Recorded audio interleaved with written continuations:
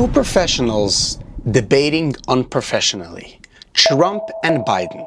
What is their body language and selective choice of words saying? Because my name is Dovy and I'm a full-time magician. I started learning about psychology, how people think, and that got me thinking, what does this debate say? But not with their words.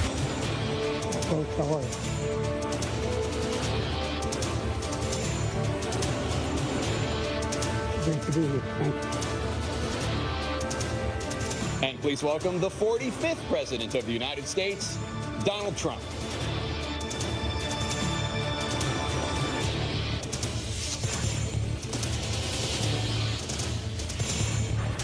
Do you guys see this? President Joe Biden walks in. He was limping a little bit. Trump walks in with confidence. He believes, and he truly believes that he's gonna win it. He doesn't have to say it, but when you're watching this, subconsciously it will convince you that he is a winner before even he starts. But let's see what his words say.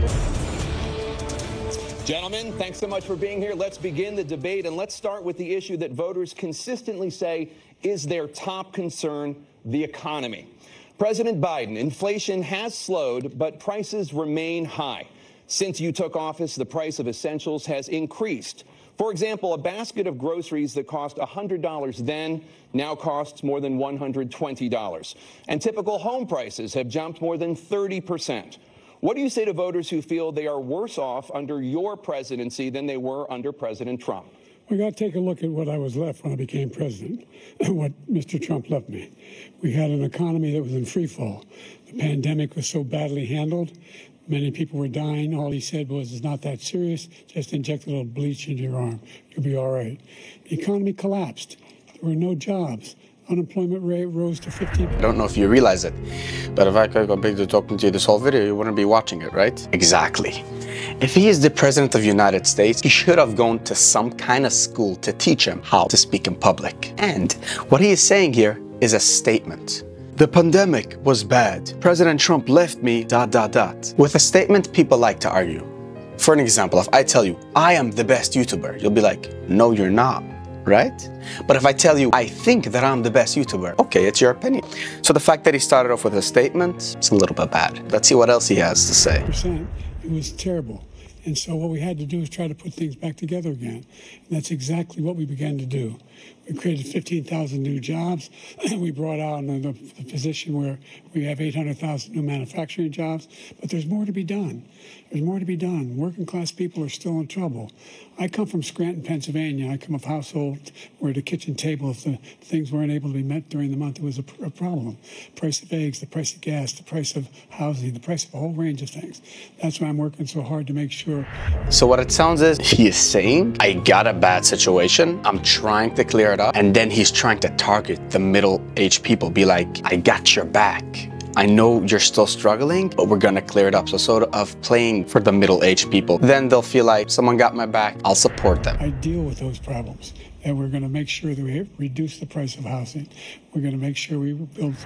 What he just said was the basic needs that everyone needs. Because he's trying to show you that I get your back. New units. We're going to make sure we cap rents so corporate greed can't take over. The combination, what I was left with in corporate greed, is the reason why we're in this problem right now. In addition to that, we're in a situation where if you had take a look at all that was done in his administration, he didn't do much at all. By the time he left, there things were in chaos literally chaos. And so we put things back together. We created, I said, those jobs. We make sure we had a situation where we now we brought down the price of prescription drugs, which is a major issue for many people, to $15 for, for uh, a insulin shot as opposed to $400. No senior has to pay more than $200 for any drug, all the drugs they can include beginning next year.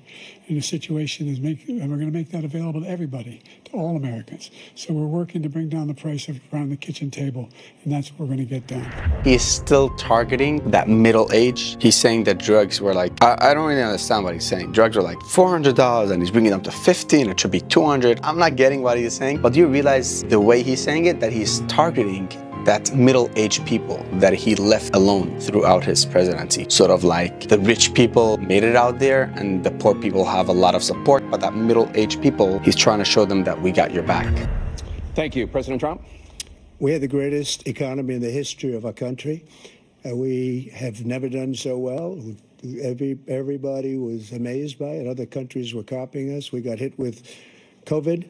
And when we did, we spent the money necessary so we wouldn't end up in a Great Depression, the likes of which we had in 1929.